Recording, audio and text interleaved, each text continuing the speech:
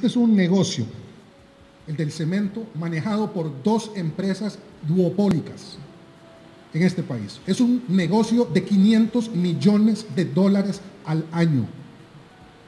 Es un negocio que ha impedido que haya competencia para que más empresas de donde sea puedan venir a Costa Rica con, con cemento a vender el cemento más barato para el beneficio de las, de las personas que han tenido durante décadas que que soportar los precios de ese duopolio.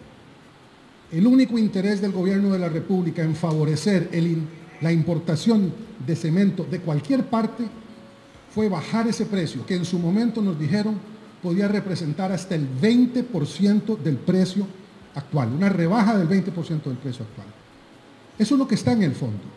Y ese duopolio ha sido muy exitoso en prevenir que se importara cemento en otros momentos.